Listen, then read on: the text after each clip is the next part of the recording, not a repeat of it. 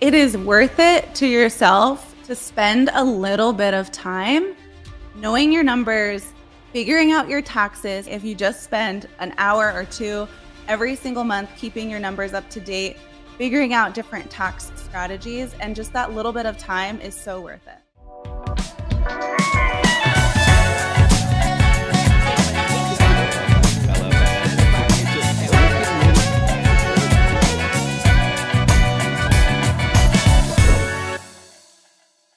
Welcome, welcome. Hey, hey.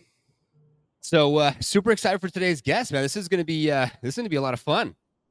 It is. Should we, should we bring her in? Let's do it. All right. Well, if you're looking for a tax coach, that's her handle, your tax coach. We have the one and only Barbara on the show, Real Estate Versus Technology. Super excited to have you in. It's been a while. I, I we were on an event, I think last year sometime. I said I wouldn't want to get you on the show. And then here we are finally like almost a year later because you're so busy. So the viewers and listeners out there, you're in for a real treat because uh, Barbara's busy. Thanks for having me. Of course, of course. So let's get a little bit into it. So why taxes? How, how did how did you fall into the world of taxes? I know it's not the most funnest topic, but you know anyone that follows you on social media, go follow her Instagram down below. You do things way differently. I have to say, kudos to you for your approach with your marketing and your videos and making it fun for people because taxes aren't fun for a lot of people. Fun for So- her. It is. It is actually. They can be fun. Um, but I think I am different because I was never supposed to be an accountant. Like I was a junior in college, I was majoring in marketing and I got pregnant. And so I went to my career counselor and I was like, I am having a baby and I can't risk not having a job the day I graduate school. So what major do I need to switch to to like 100% Mm. chance I'm going to have a job? And they were like, accounting. And I was like, shit. Are you sure? Is that the only major? Um, and they're like, yeah, you should probably switch into accounting. Plus, it's easy to switch into, probably because not very many people want to do accounting. But yeah. um, so I switched and got ended up getting my master's in taxation and started out my career at the largest accounting firm in the world, which sounds really cool and prestigious. And you know that's what everyone strived for in college. And I got there. I you know got off the elevator in the 27th floor in this huge building in a big city, and I was like, I really made it, you know. And I step out the elevator and I was like, this is what people like strived for. Everyone looked so tired and miserable. And then once I actually started working there, I was like, they're not helping anyone.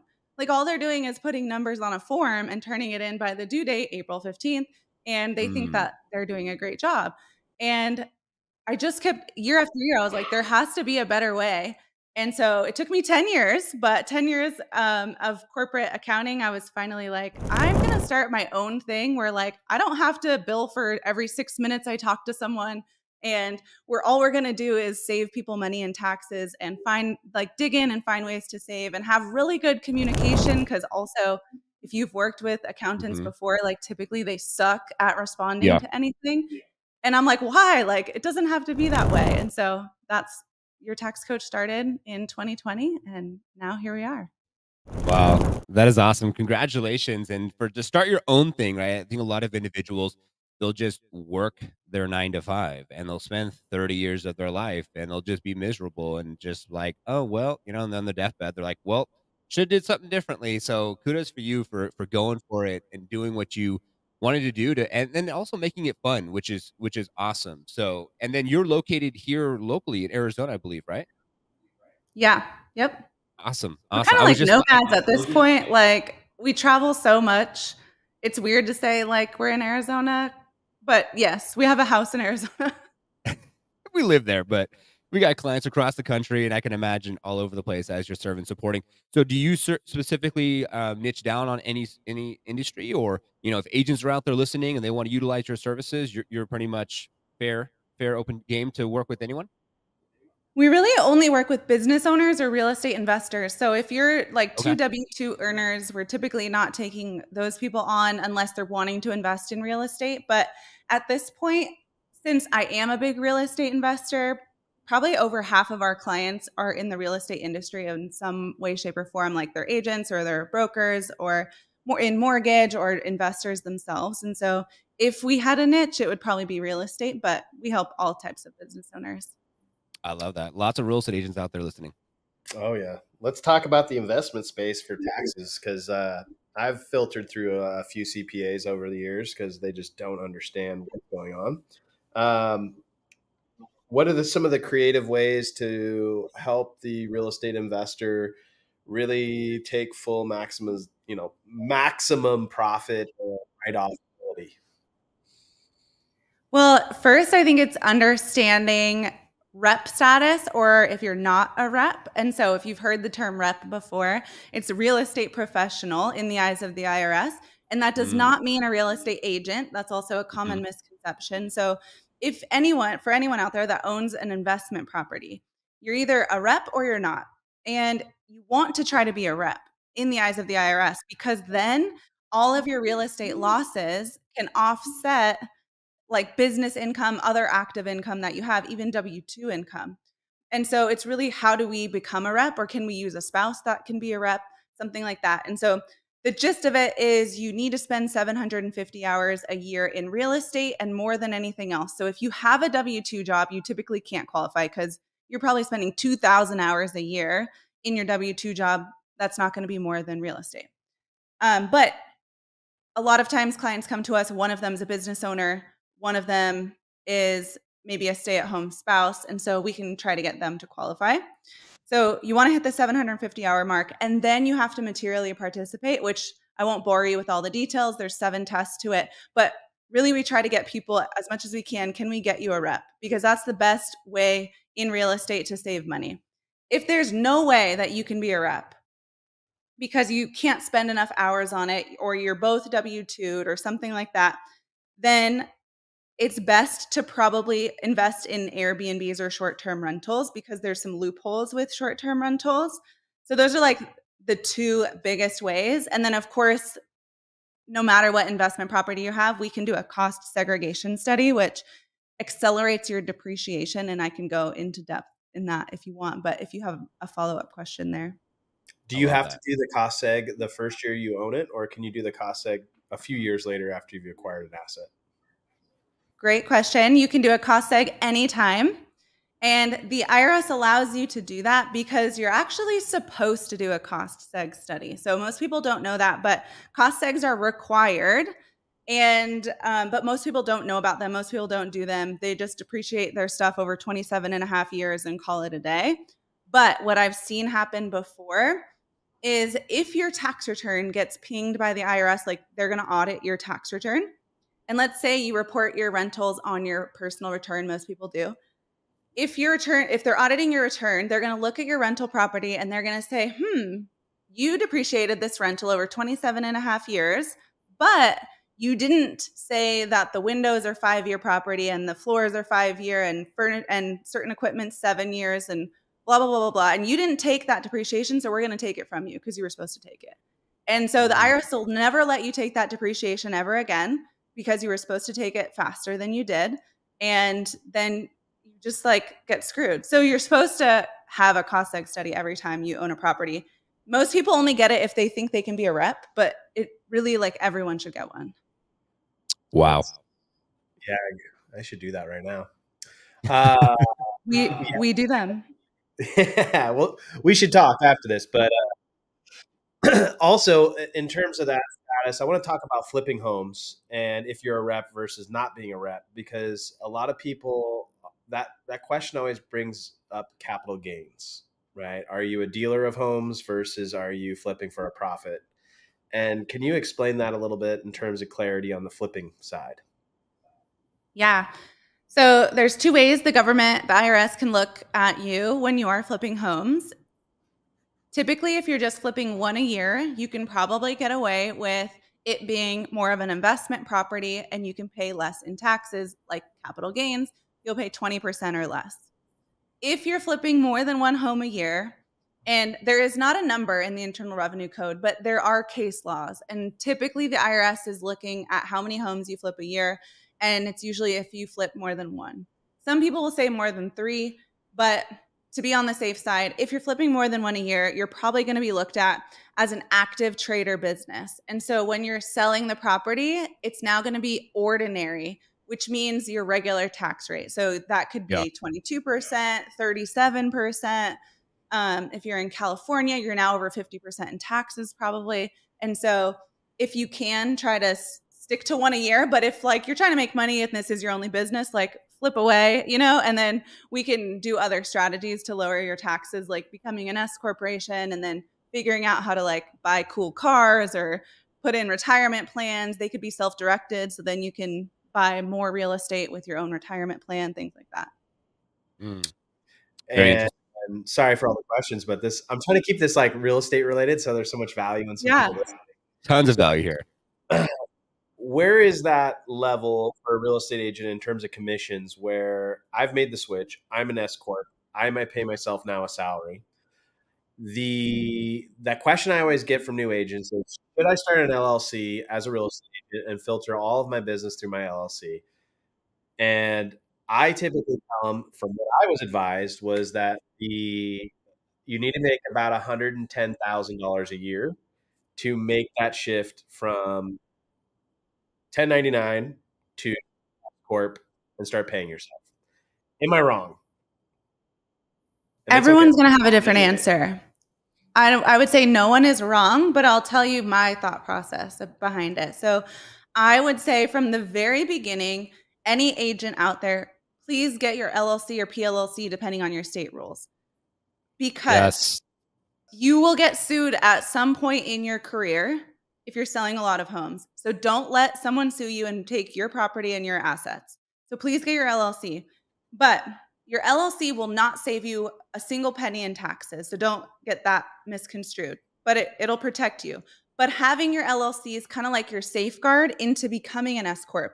We can't switch you to an S Corp until you've had your LLC. So get it now so you're ready when you're ready Yeah. in terms of how much money should I make to switch to an S corp, I honestly say right away because you're hmm. 15 times less likely to get audited if you're an S corporation than on your personal return. So that in and of itself, if you don't want to deal with an audit, which nobody probably wants to deal with an audit, and even if you have nothing to hide, right? I'm always like, yes, please bring on the audits. Like, we're happy to defend you. There's nothing to hide. But what it is going to take from you is hundreds of hours of your life that you could be going out there and making money. And you're going to have to Mm. pay me for hundreds of hours of my time as Yeah. well. And so, just the like safety net of 15 times less likely to be audited, I think everyone in as an agent should be an S corp. But not everyone thinks like that. And people want to know the cost benefit analysis. I mean, I think my time is like worth way more than that. But if you're not putting like money to your time, around $40,000 in commissions, the cost benefit makes sense. You're going to be saving more in taxes at about 40K of commissions than like the cost of becoming an S corp because you have to pay like a payroll company and you have to pay for another tax return because you now have two tax returns, stuff like that. But I think everyone should be. I love that. That's awesome. So let's go a little deeper in the subject of like, what would you advise for a licensed real estate professional? Because a lot of them don't really treat their business like a business. They they kind of um, it's one deal at a time, or they'll get a deal and then they'll buy something fancy or whatever the case may be, and they don't really they don't really have like um, a lot don't do the P and L sheets. A lot don't have um, themselves on payroll. So, what would you say and advise someone listening and viewing as far as getting on payroll, setting up that LLC, um, whether it's hiring your services or what have you, a Gusto, bench accounting, having a P&L, what would be like a basic roadmap to follow for an agent who's new in the business or who's has now just had a couple transactions and they're on track for say 12 to 24 homes this year and, and they need to be ready for what's going to come as far as the tax implications? Yeah, I would say keep track of your income and expenses really meticulously. And that doesn't mean you have to get a bookkeeper right away. For most agents, even until you're at a couple hundred thousand dollars, you probably don't need a bookkeeper if you're tracking it yourself on a spreadsheet, but make sure you're Mm. tracking it. And a spreadsheet is fine if you can keep up with it. But if you're not doing anything, that's kind of like where you can get in trouble and you'll typically miss expenses. like nobody's over ever gonna like over expense when they're not tracking something. You're gonna be missing out on deductions, which means you're gonna be paying more in taxes. So I would say just like figure out a system that works for you. Whether it's just a spreadsheet where you're putting your expenses every month, you're not going to have that many when you first start out, probably. But when you're to a point where you're like, I can't handle this anymore, I'm too busy. I love QuickBooks Online. And at that point, get a good bookkeeper. I would not recommend. I think you mentioned Bench. I we yeah. get so many clients from Bench that we clean up their stuff. Um, and it costs more to do a cleanup than it does to do like it right the first time. So QuickBooks Online is great because it also has a receipt tracker in there. If you get the app on your phone, you can just snap pictures of your receipts and it'll save it. It has a mileage tracker for you already. So when you're driving around for business, it'll track it for you. We love QuickBooks Online. I and I want to touch base on that because I I'm on a few different boards in town and trying to like advise different businesses and I don't know how many people do their books or they do their accounting sloppy in the beginning instead of just setting it up like you said correctly the first time and paying for a QuickBooks subscription and and doing things on, on the up and up is actually going to save you more money than being sloppy from the beginning. But there's so many business owners, contractors, investors that I deal with on a regular basis that like just extremely sloppy are you seeing this with a lot of the clients that are coming to you uh, from that perspective? Yeah. Real estate investors, for some reason, are like the sloppiest people with their accounting. Like they're trying to be so cheap and like scrimp every penny that they then have to pay people more to like fix it. We get so many investors that they'll put like their down payment as an expense on their profit and loss. And so like they have this huge loss on their P&L and they think they're not going to pay anything in taxes and we're like you put hundreds of thousands of dollars on your profit and loss that is not an expense. Like those are assets. And and people just don't know those ter- terms and don't know really what to do. And so yeah, it can get you in big trouble. Oh my god. Listen up out there. don't get yourself in trouble. Clean things up and uh, go hire Barbara. Yeah, and Barbara, like as we wrap this up, like, is there? Are you hosting webinars? Like, where do you where do you suggest real estate agents, real estate investors go to get more information, uh, just to have general competency or to absorb some of this stuff that we covered on this this podcast that would be a resource for them as they set up this business and progress down their journey? Yeah, I would say the first place is our Write Off Your Life course. It teaches you how to be a good business owner, how to write off your life, like turn seemingly personal expenses into business expenses.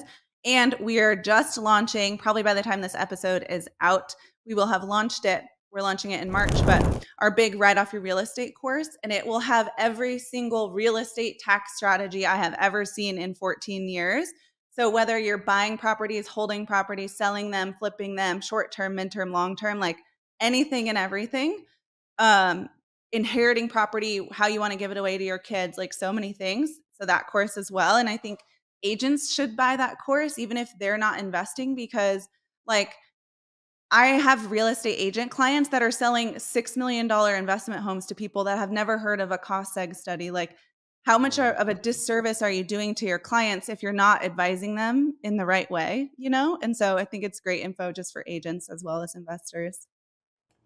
I love that. I especially sell a lot of investment properties and i and i try to tell people like if you don't have a general understanding of cost seg or 31 exchanges or any way to maximize write-off you are just putting your clients in a just a bad bad place so i'm glad you brought how are you advising people if you actually don't know how to do it? So I love that. I love that too. No, and that's what it, that's what it, that's why we wanted to have you on, Barbara. Because I think a lot of individuals don't understand that there's a lot of implications here. Better to be proactive than reactionary in the tax world, because uh, no one want to ha- has to deal with that. And the last thing I want to leave with before we close out is uh, when we started off the show, we talked about that new tax implication um, in regards to the government. There's a new entity, and if you're not filing this you know more than I as far as $500 fine per day for the LLC. So can we just close out with that and then we'll we'll have you uh, close out our show so people can know like hey what to look out for and you know it's serious business no one wants to be charged $500 a day for however many days until they I know this one is crazy. It's not a tax law, so don't kill the messenger. It's Okay. coming out from FinCEN, which is the Financial Crime Enforcement Agency. So the IRS and FinCEN, they're both part of the US Treasury. They passed this law actually in 2016, but it's taken them this long to implement it. And they're saying if you have any LLC out there, any type of entity, it doesn't have to just be LLC, but C Corps, S Corps, whatever, any LLC out there, you have to file a report with FinCEN that is the beneficial ownership information report. It seems like a quick little report. You can do it in 30 minutes probably for each LLC that you have, which sucks for us. We have like 50 LLCs that we have to file for, but Oh, um just for ourselves. But um where it gets tricky is it's they want to know not every owner, but every beneficial owner. And what does that even mean? Well, they're saying if you have a CEO, if you have a COO, you have a CFO, anyone in a C suite, anyone that can make a decision in your company, the government wants to know who that is in your business. And if you hire someone, fire someone, they quit, you have to turn in updates. And if you don't do these updates, you're getting fined $500 per day, as well as if you don't even file it in the first place by the due date. So this thing is going to get crazy. But the gist of it, if you started an LLC prior to 1 1 of this year, you have until the end of this year to file it.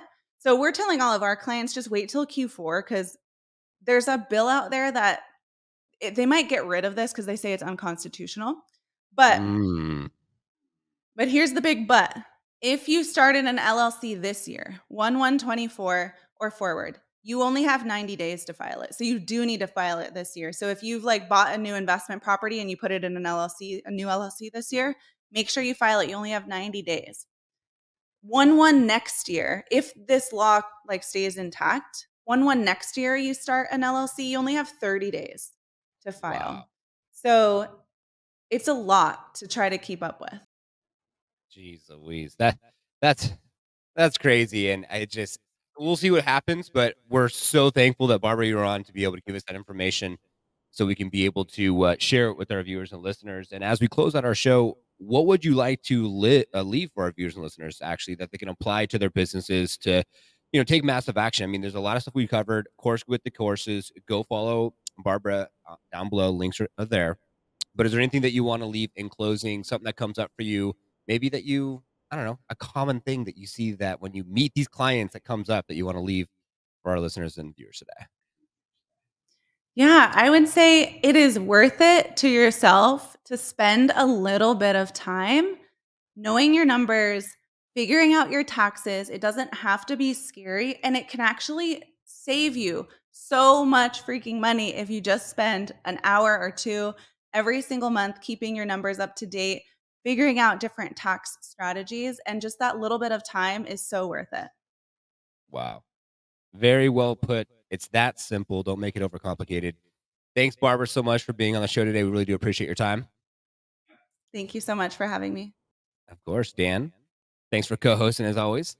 We'll be in touch, Barbara. Thank you so much. Yeah.